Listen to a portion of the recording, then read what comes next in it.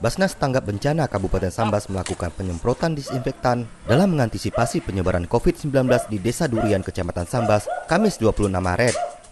Kegiatan ini melibatkan seluruh perangkat desa Durian, mulai dari kepala desa, kepala dusun, RT, tokoh masyarakat, serta relawan Basnas.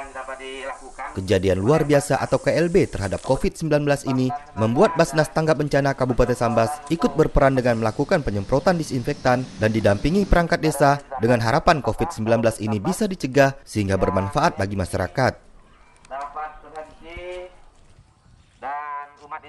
Assalamualaikum warahmatullahi wabarakatuh. Pada hari ini Kamis tanggal 25 eh, bulan Maret tahun 2020 kami rombongan dari Basnas uh, mengadakan sebuah agenda yaitu mengadakan penyemprotan khususnya di Desa Durian RT 03 dan sekitarnya.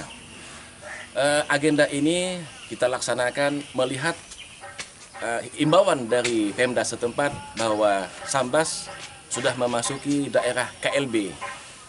Dengan masuknya daerah KLB, maka kita dari pihak Basnas dari tanggap bencana mengadakan penyemprotan dalam rangka upaya ikhtiar pengawasan upaya dalam hal pencegahan virus COVID Corona yang ada di Kabupaten Sambas. Semoga Allah memberi kita kesehatan. Amin. Saya silakan Pak RT. Assalamualaikum warahmatullahi wabarakatuh. Waalaikumsalam. Bismillahirrahmanirrahim. Alhamdulillahirrahmanirrahim. Wassalatu wassalamu ala asrafil anbiya mursalin. Sayyidina Muhammadi wa ala alihi wa sahbihi ajma'in. Amma ba'd.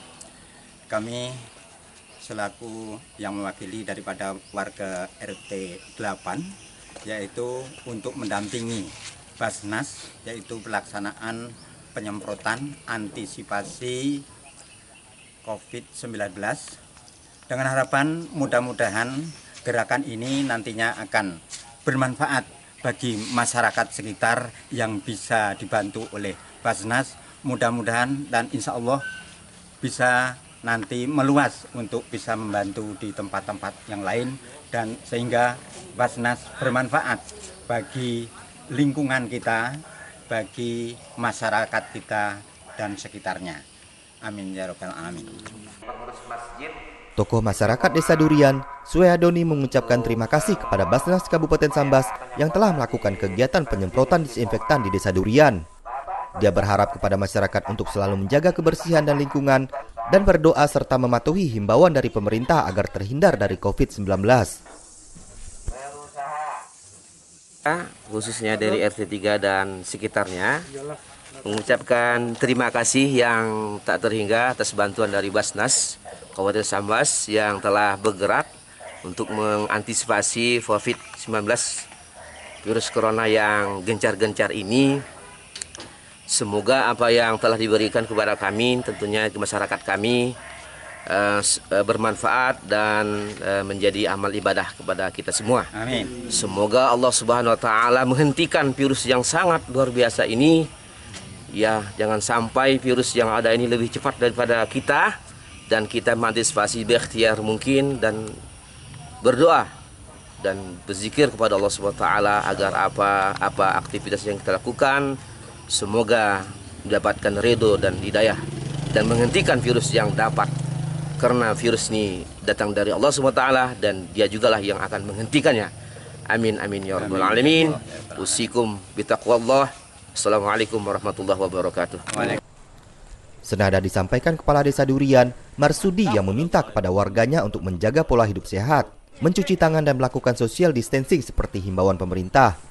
Pihaknya juga akan melakukan upaya melalui dana desa dalam melakukan pencegahan terhadap COVID-19 ini. Assalamualaikum warahmatullahi wabarakatuh. Saya atas nama pemerintah Desa Durian ya pertama sekali mengucapkan terima kasih kepada Basnas yang telah eh, mendukung, membantu untuk mencegah daripada apa yang sekarang terjadi yaitu COVID-19 ya terutama khususnya di Desa Durian.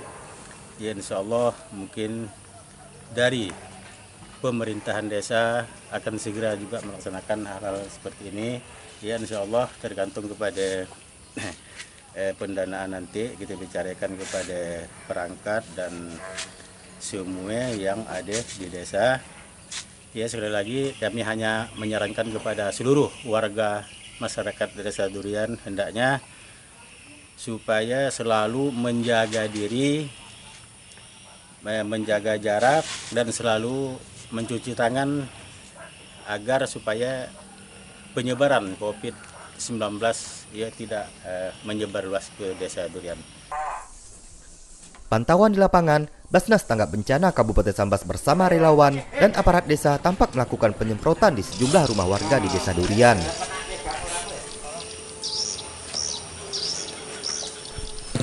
CSM TV.